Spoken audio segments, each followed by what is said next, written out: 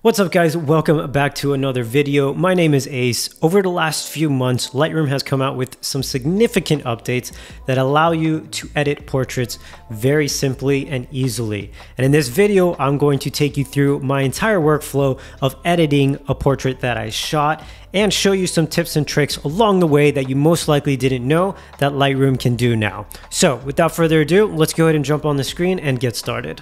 So first things first, one of the things I like to start with is balancing out the exposure of the image. So what I'm gonna do here is I'm gonna actually drop down our highlights a bit because you can see on the face, there are a bit of a hot spot right here. However, the camera did retain a lot of that detail, so it's no problem. We can dial that back as much as we please. I think that's looking pretty good there. You can see also over here in the top left corner, we were able to bring out some more detail here in the clouds and the sky. That's looking pretty good. Now, another thing that I do want to uh, change is bring out the shadows just a little bit because there is a lot of detail here in the hair that we can pull out. So let's go ahead and increase our slider just a little bit there. That's looking good. Now we can actually see the color of the hair and a little bit more of the strands here is a lot more detail. It looks better to me. That is looking good there. Now, another thing that I want to show you guys real quick is the uh, auto masking feature, right? So if I go ahead and click on this, our mask feature here, you can see that automatically generates the person and it quickly masks them out and it is extremely accurate. But the really cool thing here is if you click on that, it actually allows you to fine tune this and only select what the options it gives you here. So for example, eyebrows or just the skin on the body or the face. So for this example, I'm gonna actually go with the face skin. I'm gonna go ahead and click create mask. Now I just have this mask overlay color green because I find it a lot easier to see and make my edits and adjust accordingly. However, you can actually change this simply by holding shift and O and you can see it change it to white, to more of a brown dark color, red, or green. So you can actually change it however you'd like, whatever's easiest for you to see. However, for me, this is what works. So I'm going to click on Z real quick and zoom in just so it makes it a little bit easier so we can see what we're doing here. All right, so we created this mask, right? And now the next step is I'm going to actually smoothen out the skin so we can get a better balance of skin tones and remove a little bit more of these uh, textures. Now you can see that it is bleeding to her eyelids and the nose and around the lips.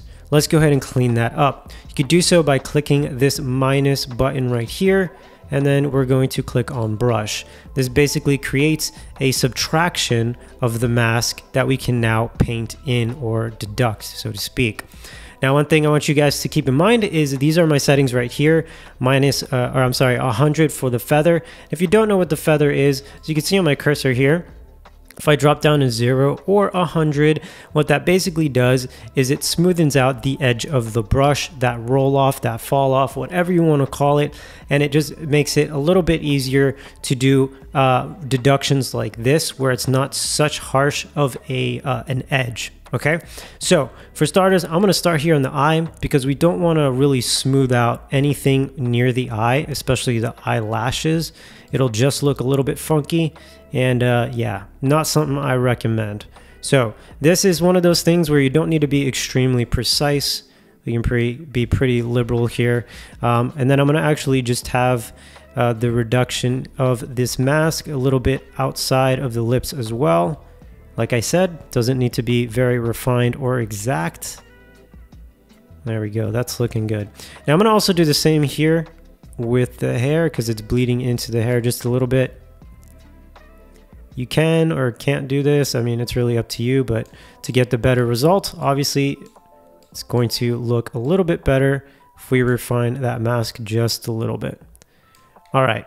Now, something that's really cool that you might not know is Lightroom actually already has a few custom presets for you or pre-saved presets, I should say. If you come over here to your mask options, you can click on this custom effect and it has this drop down menu of a lot of different things you can do with this mask. Now, one of the things I want you guys to look at is it has an option for soften skin and soften skin light. So it's going to do exactly what it tells you. It's going to soften the skin. I clicked on light because you can actually refine this however you want. Now here in the adjustments panel, you can see the uh, adjustments that it just preset for us. So for example, clarity dropped down to minus 15, texture minus 35. Now personally, I think this is looking pretty good, but if you wanted to increase it or make any sort of adjustments, go ahead and feel free to do so. Now I'm gonna actually close this panel and I'm gonna go to our spot healer brush tool. Now from here, what I'm going to do is I'm going to actually remove a little bit more of these slightly larger, uh, somewhat distracting blemishes. And you just click on that and Lightroom's going to automatically generate another section that it's going to clone from. And generally this is pretty accurate. So you usually don't need to do too much in terms of refining it. And I'm just going to quickly go through here. Just a few blemishes down here and here. These little hotspots can be a little distracting sometimes. And uh, I think we're looking pretty good. All right, let's see how that looks. You can see here, it didn't exactly clone properly. So let's actually go back to that one. I'm gonna go ahead and click on it. And you can see for some reason it uh, cloned all the way out here.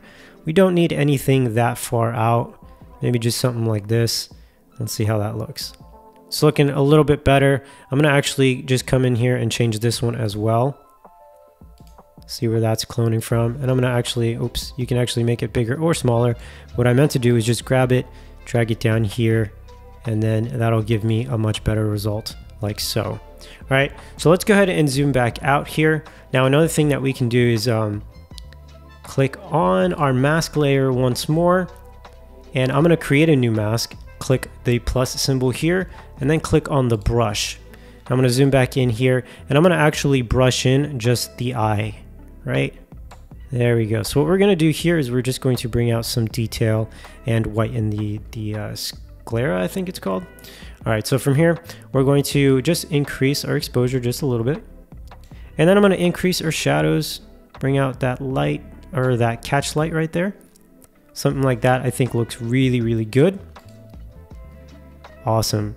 Now from there, I'm gonna actually adjust our colors just a little bit, okay? So I'm gonna come here to clarity. I'm gonna actually boost that up a little bit just so we can get a little bit more detail across the entire image here. Something like so. Our vibrance and our saturation, I'm gonna actually keep as is, and I'm gonna show you guys why.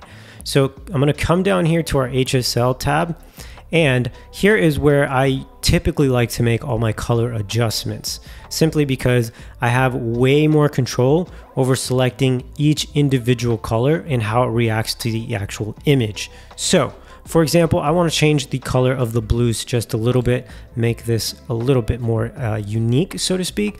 So with that said, I'm going to go to hue. I'm going to click on our little eyedropper here and I'm going to select one of our blue tones. So for example, here, I'm going to go ahead and click and drag up and you can see it's going to change our tones just a little bit.